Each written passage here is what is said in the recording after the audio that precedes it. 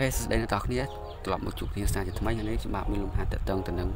Sweet Tournament ថ្នាក់ទី11ដើម្បីចែកអំណែកដល់អ្នកនរគ្នាអញ្ចឹងមុនឈានចូលដល់ដំណោះស្រាយនៅលំហាត់នេះខ្ញុំសូមឲ្យអ្នកនរគ្នាជួយចុច like ចុច subscribe ឬដាក់រូបកណ្ដឹងដើម្បីទទួលបាននៅវីដេអូថ្មីៗពី channel របស់ខ្ញុំបាទអញ្ចឹងយើងមើលលំហាត់នេះទាំងអស់គ្នាគឺលំហាត់លេខ2គឺឲ្យកំណត់តួទី1បាទអុយ1នឹងផលធៀបរួមគុយនៃ Sweet Tournament អុយ n ដោយគេដឹងថាបាទកគឺអុយ4ដល់អុយ2ស្មើ25អុយ3ដល់អុយ1ស្មើនឹង50 ខគឺអុយ4ដោយអុយ2ស្មើនឹង72បាទហើយអុយ5ដោយអុយ3ស្មើនឹង144អូខេអញ្ចឹងយើងតាមដានចម្លើយដូចតទៅបាទអញ្ចឹងចម្លើយបាទចម្លើយអញ្ចឹងយើងអាចសរសេរមកថាកំណត់បាទកំណត់តួទី1បាទកំណត់តួទី1បាទគឺអុយ1នឹងបាទ ផលធៀបរួមបាទផលធៀបរួមគុយនៃបាទ Sweet Tournament បាទនៃ Sweet Tournament អូខេអញ្ចឹងចំពោះកបាទយើងមានតំណែងគឺអុយ4ដល់អុយ2ស្មើនឹង25បាទហើយអុយ3 ដោយអុយ1ស្មើនឹង50អញ្ចឹងបាទយើងថាមកថាបាទគេមានបាទតំណតំណងទី1គឺអុយ4ដកអុយអុយ2ស្មើនឹង25អញ្ចឹងដោយសារតែ switch របស់យើងគឺជា switch tournament អញ្ចឹងយើងអាចបំបែកបានបាទគឺយើងអាចបំបែកបានបាទអុយ1គុណអុយគុយសេគុណ3ដកអុយអុយ1គុណអុយគុយស្មើនឹង25បាទអញ្ចឹងយើងអាចចាប់ អុយ1គុណអុយគុយជាកតាបាទចាប់អុយ1គុណអុយគុយជាកតាអញ្ចឹងនៅសល់គុយការ៉េដកឲ្យ1ស្មើនឹង25អញ្ចឹងយើងថានេះជាតំណងទីទី1ហើយបាទហើយមួយទៀតគឺតកតងទៅនឹងអុយ3ដោយអុយ1ស្មើនឹង50អញ្ចឹងអុយ3គឺយើងអាចបំបែកបានទៅជាបាទអុយ1គុណអុយគុយការ៉េដោយអុយ1ស្មើនឹង50 ចឹងយើងអាចចាប់អុយមួយជាកតាបាទចាប់អុយមួយជាកតាចឹងសល់គុយការ៉េបាទដកឲ្យ1បាទស្មើនឹង50យើងថាវាជាតំណងទីទី2បន្ទាប់មកយើងចាប់ដើមធ្វើ pot tip បាទរវាងតំណងទី1និងតំណងទី2បាទចឹងយើងថាធ្វើបាទ pot tip បាទធ្វើ pot tip រវាងតំណងទី1និង តំណតំណងទី2បាទគេបានបាទគេបានយ៉ាងម៉េចបងប្អូនគឺបានបាទអុយ1គុណអុយគុយកតាអុយគុយការ៉េដកអុយ1បាទចែកឲ្យបាទចែកឲ្យអុយ1កតាអុយគុយការ៉េដកអុយ1ស្មើនឹងបាទ25ចែកឲ្យ50បាទអញ្ចឹងគុយការ៉េដក1លើគុយការ៉េដក1គឺយើងអាចស្រួលបានហើយ អុយមួយនិងអុយមួយក៏អាចសម្រួលបានដែរអញ្ចឹងយើងនឹងសល់គុយបាទស្មើនឹង25នៅលើ50គឺយើងអាចសម្រួលនឹង25អញ្ចឹងនឹងសល់1លើលើ2អញ្ចឹងយើងរកឃើញគុយហើយគឺ1លើលើ2បាទអញ្ចឹងយើងអាចយកគុយបាទស្មើ1លើ2ជំនួសចូលទៅក្នុងតំណែងទីទី2បាទអញ្ចឹងយើងថាយកបាទគុយស្មើនឹង1លើ2ជំនួសបាទជំនួសក្នុងតំណែងទី ទី2បាទគេបានបាទគេបានយ៉ាងម៉េចអស់គ្នាគេបានអុយ1បាទកតាឲ្យបាទ1លើ2លើកជាការ៉េបន្ទាប់មកដកអុយ1ស្មើនឹង5 50បាទអញ្ចឹងបាទខ្ញុំសូមតបណាស់តិចអស់គ្នាបាទអញ្ចឹងគេបានបាទគេបានអុយ1បាទ អញ្ចឹង1លើ2ជាការ៉េយើងបាន1លើ4ដកឲ្យ1ស្មើនឹង50 50បាទអញ្ចឹងយើងអាចតម្រូវពីបាយមកគឺគេបានអុយ1កតាឲ្យកន្លែងនេះបាទយើងបាន1ដកឲ្យ4ចែកឲ្យ4បាទស្មើ50អញ្ចឹង1ដកឲ្យ4បានអក្សរដក3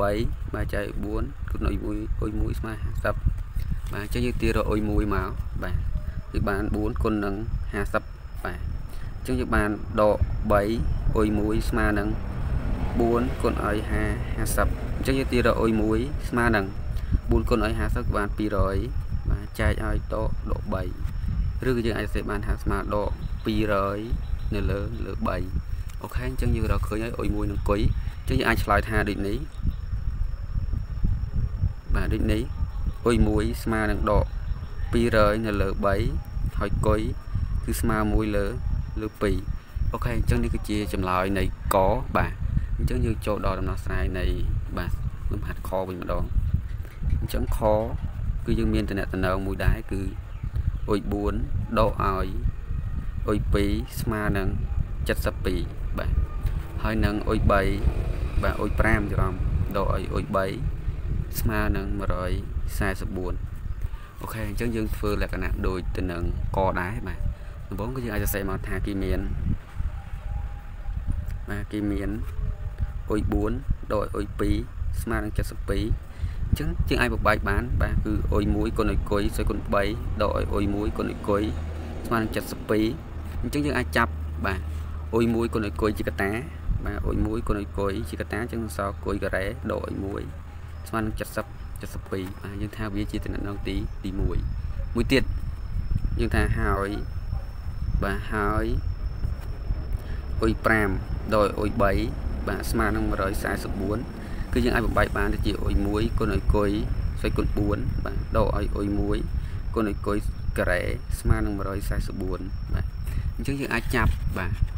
គុយគុណនឹងគុយការ៉េជាកតាបាទអុយ1គុណនឹងគុយការ៉េជាកតាអញ្ចឹងនៅសល់គុយការ៉េ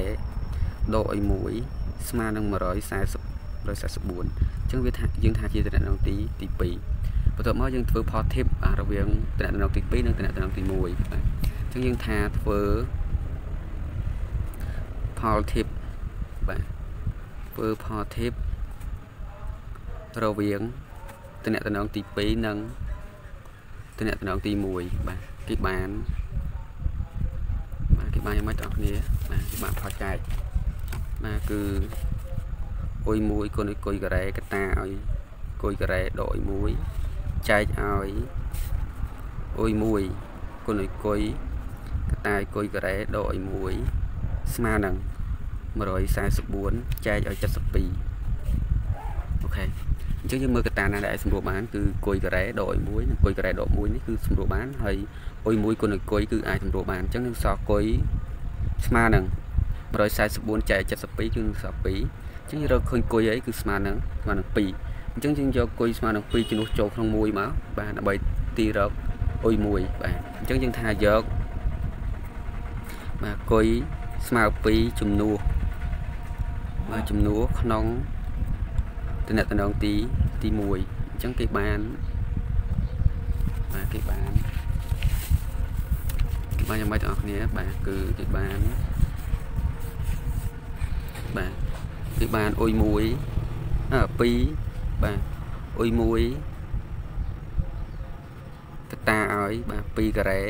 ដកឲ្យ1ស្មើនឹង70 72បាទអញ្ចឹងយើងបាន2អុយ1កតាឲ្យ2ការ៉េគឺ4បាទដកឲ្យ1ស្មើនឹង70 72អញ្ចឹង4ដក1នឹងសល់3 3គុណ2គឺបាន6អុយ1ស្មើនឹង72នាំឲ្យគេទិញបានអុយ1គឺស្មើនឹង72ចែកឲ្យ6បាទអញ្ចឹងអុយ1គឺស្មើនឹង72ចែកឲ្យ6គឺបាន10 12អូខេអញ្ចឹងយើងរកឃើញហើយអុយ1នឹងនឹងគុយអញ្ចឹងយើងអាចឆ្លើយថាដូចនេះបាទដូចនេះ អុយ1ស្មើនឹង12ហើយគុយស្មើនឹង